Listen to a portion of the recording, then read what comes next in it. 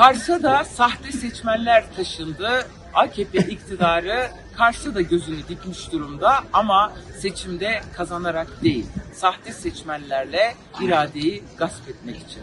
Bu nedenle Kars'ta seçmen olup Kars dışında olanlar mutlaka 31 Mart'ta gelip Kars'ta oylarını kullansınlar. Olanaklarınız yoksa biz il ve ilçe örgütleri olarak başvurmanız halinde sizleri Kars'a ulaştıracağız. Unutma senin oyunla kazanacağız ve 31 Mart'ta zafer halayını birlikte çekeceğiz.